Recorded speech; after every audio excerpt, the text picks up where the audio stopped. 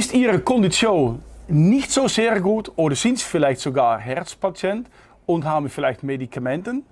Bleiben Sie dran. Ich habe für Ihnen einen Test, mit dem ich Ihnen gerne zeigen würde, wie man richtig bestimmen kann, wie die momentane Kondition ist und wie man gezielte Trainingsempfehlungen Ihnen geben kann. Bleiben Sie also dran.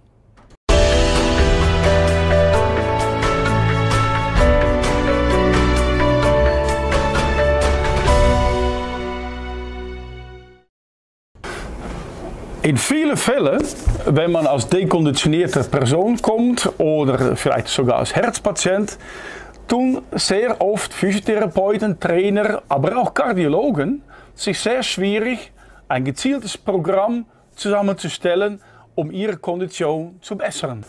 Auch bei einem Belastungs-EKG beim Kardiologen, was ein sinnvoller Test ist, fehlt doch leider sehr oft die gezielte Trainingsempfehlungen, wie sie doch gezielt ihr Training sollen steigern. Die Empfehlung von Sie müssen noch in die Lage sein, mit den anderen reden zu können beim Trainieren, ist doch erfahrungsgemäß für viele Patienten äh, äh, ja, äh, leider doch an ungenügende Informationen. Ich bin persönlich der Meinung, dass man viel gezielter Informationen geben kann, um ihre Kondition methodisch zu steigern. Die Erfahrung hat auch gelernt, dass Patienten oder Personen, die kommen trainieren mit ein gezieltes methodisches Programm, die gut protokolliert wird, wo ganz klare Richtlinien gegeben werden, dass man methodisch ein viel besser Aufbau hat und was auch das Selbstvertrauen von der Patient tut steigern, wovon ich der Meinung bin, dass das ein sehr wichtiges Element ist. Trainingsberechnungen, mit welchen Trainingspuls zu trainieren, stimmen bei vielen Patienten, die blutdrucksenkende Medikamenten oder sogar Beta-Blockers haben, stimmen oft nicht. Mittels een einfachen Laktattest, die ich nachher in dem Video zeigen werde, äh, kann man viel genauere Informationen geben. Blutdrucksenkende Medikamenten sorgen dafür, dass ihre Herzfrequenz tiefer ist als normal. Das ist dann auch der Grund, wieso die meisten Formula nicht stimmen. Laktat wird aber nicht beeinflusst durch Medikamenten. Wenn ich bei einem Belastungstest, wie nachher auch im Video zu sehen ist, kann ich an den Laktatwerten sehen, was ist das momentane Belastungspuls vom Herz und ich kann sehen, wie viel Leistung in Watt äh, die Person verbracht hat auf meinen Velo.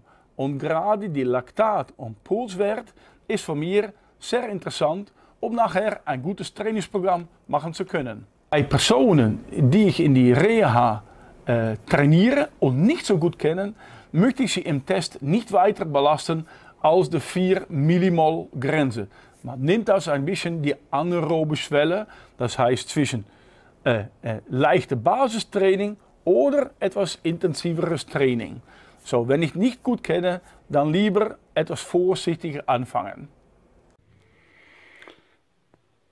Dit is das Material, was ich dazu benötige. Ich habe hier Blutdruckmessgerät, Sauerstoffsättigung, Laktatmessgerät mit zwei äh, äh, Handschuhen, Laktatstreifen, einen Nadel, mit dem ich im Ohr oder im Finger diese Messung durchführen kann.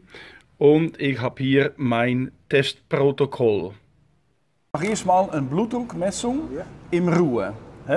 Jetzt bist du in drei Minuten bist du hier mal sitzen geblieben. Ja, Blutdruck ja, kommt ein bisschen runter. Machen wir erstmal diese. Warm machen ist vorbei. So, also. Komm mal den Arm da durch.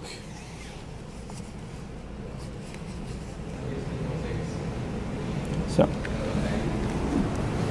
Um 87.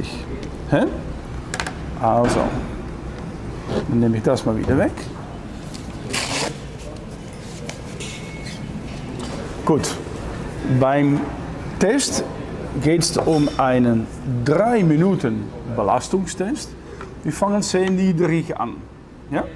Und nach jeden 3 Minuten nehme ich ein bisschen Blut von dein Ohr Und dann schauen wir, was die Laktatwerte sind. Laktatwerte ist die Sauer, äh, Sauerheitsgrad von deiner Muskulatur, wo man sehen, dass es für dich immer intensiver wird. Die Tests kannst du zu jeder Zeit abbrechen. Das heißt, wenn du merkst, dass du nicht mehr magst oder das Gefühl, hä, dann sagst du sofort, dann machen wir gerade Stopp. Oder wenn ich bei den Tests sehe, dass diese Laktat über einen bestimmten Wert kommt, ich nehme das 4 Millimol, ein sogenannter Schwellenpunkt, dann würde ich die Test auch abbrechen. Ja? Bei den Test möchte ich, dass du immer nach dem Test äh, tust sagen, wie ist die Intensität für dir nach diesen drei Minuten? Ist es für dich sehr stark oder sehr locker oder ein wenig hart? Da kannst du mir sagen, wie für dir das Empfinden ist. Ja? Ja? Das ist Okay, gut. gut. Gehen wir rüber zum Velo. Vol 2 fangen wir mal an. Ja? Jetzt versuchst du hier bei den Umdrehungen pro Minute zwischen 60 und 65 Umdrehungen pro Minute zu fahren.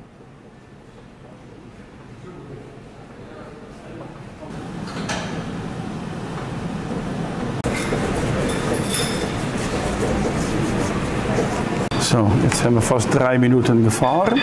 Wie würdest du es jetzt einschätzen vom Intensität hier? Locker. Locker, so 11. Ja. Ja? So 11.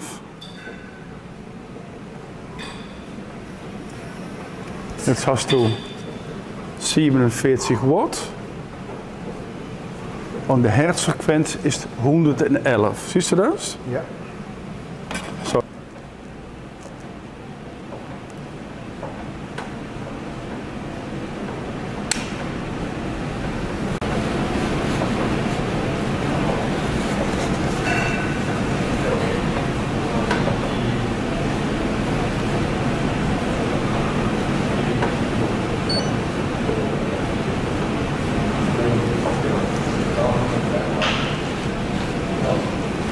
So. 1,7. Sehr gut. Jetzt fahren wir ruhig weiter. Gehen wir eine Stufe weiter. Ja?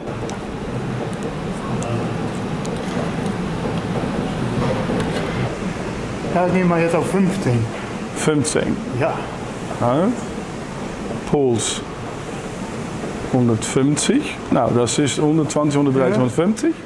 Watt 95.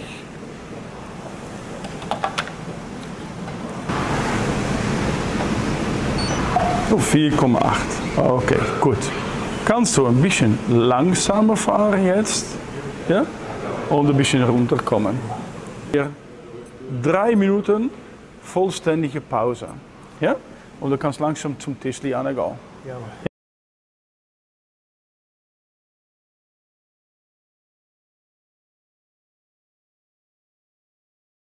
Die Belastungstest hat jetzt so ergeben, dass bei der fünfte Level, so Level 5, bei einer Leistung von 88, äh, de Testpersoon 3,0 Millimol Laktat im Blut hat. Das hat ergeben, dass er hier einen Belastungspuls hat von 130. In die nächste Level hat er 4,8, wo er dann über diese anaerobe Schwelle gegeben, gegangen ist und eine Herzfrequenz hätte von 150. So, das heißt, voor de eerste Mal, wo ich ihn jetzt getestet habe, dass meine Trainingsempfehlung für ihn wäre, einen Belastungspuls zu haben zwischen 120 und 130. Das würde bedeuten, dass jetzt nun er bei uns im Training kommt, dass er für uns ein Trainingsprogramm bekommt, was in diese Herzfrequenz ist. Diese äh, Ausdauertraining macht er dann kombiniert mit ein gezieltes Krafttraining, seine Belastung, äh, Belastbarkeit zu steigern.